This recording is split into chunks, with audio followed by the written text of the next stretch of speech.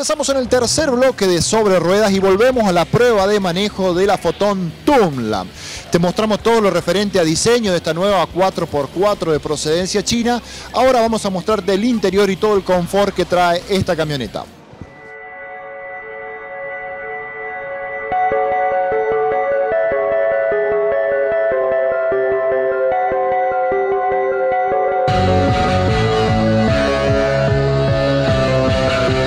Comenzamos a descubrir el interior y hablemos de la segunda plaza. ¿Qué encontramos en el panel de la puerta?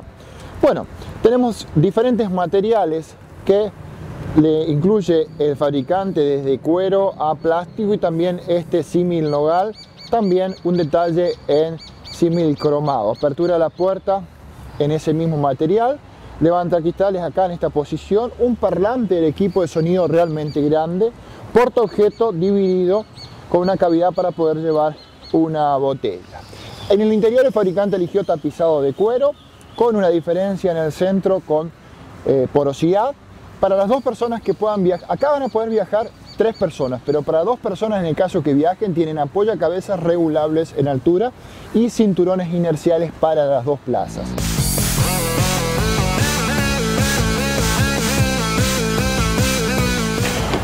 Descubrimos la puerta de ya la primera fila, tenemos los mismos materiales que vimos atrás, le agrega por supuesto los cuatro selectores para subir o bajar eléctricamente los vidrios, traba de puerta, por debajo un puerto objeto un poco más grande, pero también con la cavidad para poder llevar una botella, parlante del equipo de sonido.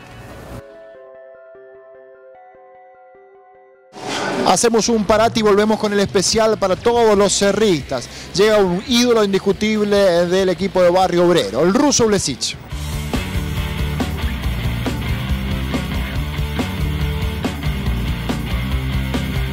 Blesic, ¿te podemos decir ruso? Sí. ¿De dónde viene el, el sobrenombre? Empecemos por ahí.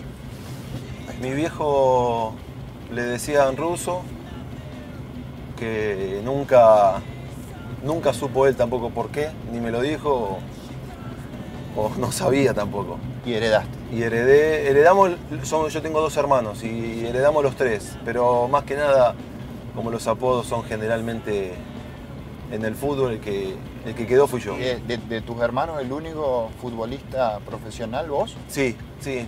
Mi hermano el más grande jugaba muy bien, pero no le gustaba lo que era el, lo que se llama el sacrificio de ir a entrenar. Ajá. Que cuando sos chico es, Complicado. es bastante, sí. Ahí ya había terminado el secundario y me había metido en la facultad.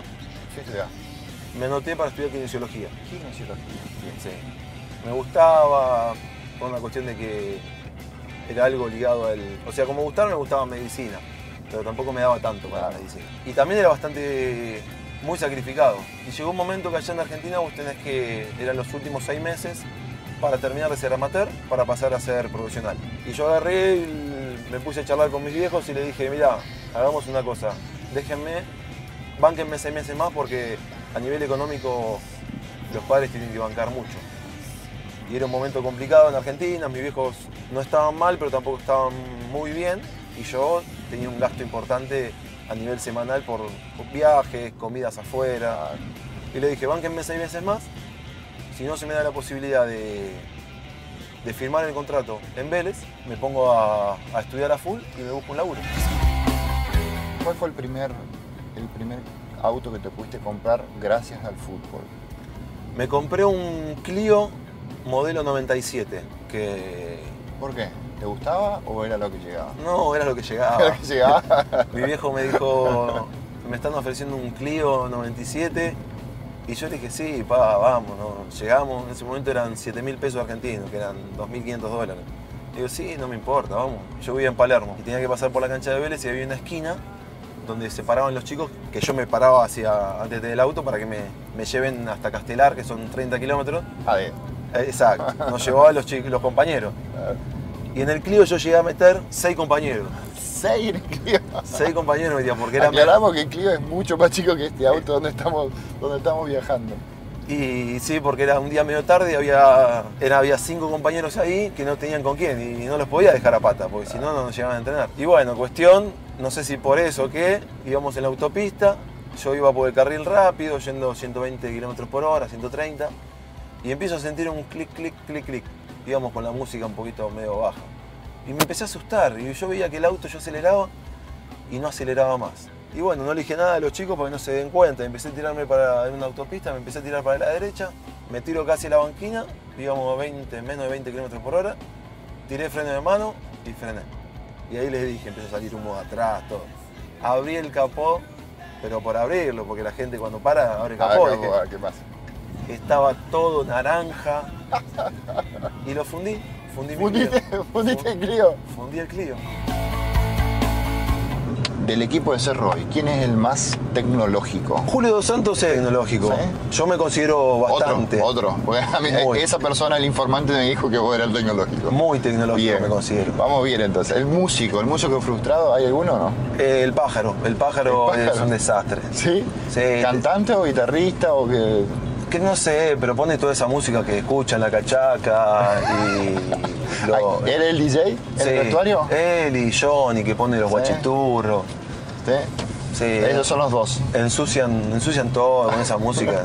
No se puede ni, ni hablar, no se puede hacer nada.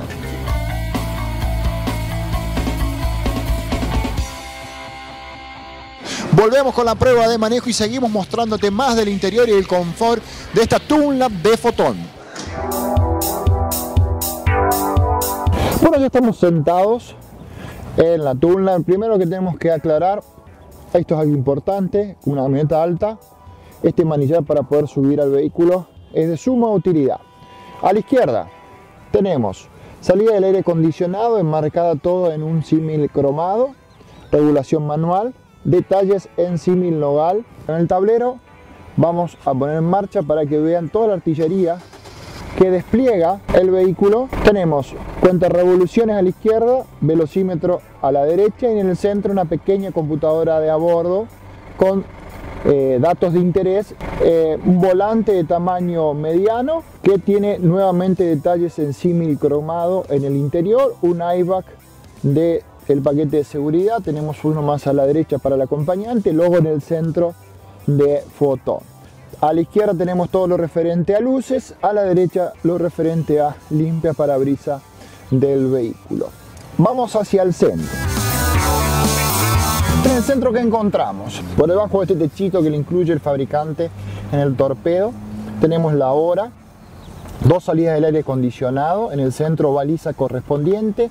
Todo esto del centro va a ir enmarcado nuevamente en baguetas de símil cromado. Equipo de sonido con auxiliar MP3. Por debajo tenemos luces, tenemos en este caso neblineros, acá tenemos para desempañar la luneta trasera y acá en donde podemos elegir en la posición de tracción que querramos tener la camioneta 4x2 o 4x4.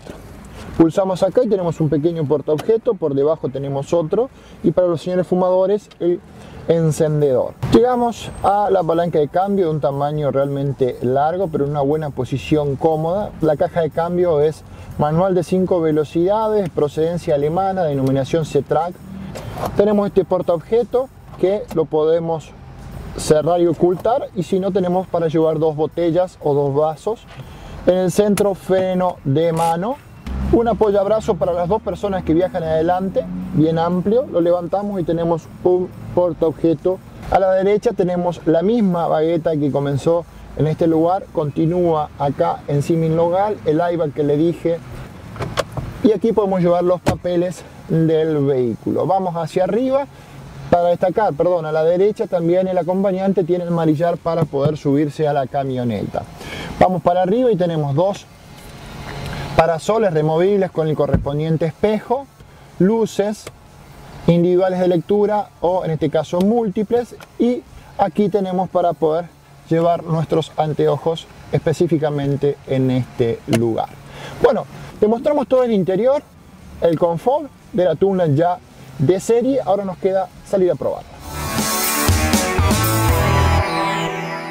Tenemos que ir a una brevísima pausa, no te muevas ahí en el próximo bloque, seguimos con mucho más de Sobre Ruedas.